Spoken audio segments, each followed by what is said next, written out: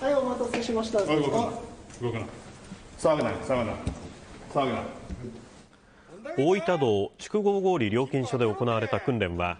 2人組の強盗が刃物と拳銃を持って事務所に押し入り金を要求するという想定です強盗に扮したのは警察官で職員は逃げた犯人の車にカラーボールを模した水風船を投げつけ駆けつけた警察官に犯人や車の特徴を伝えるまでの手順を確認しました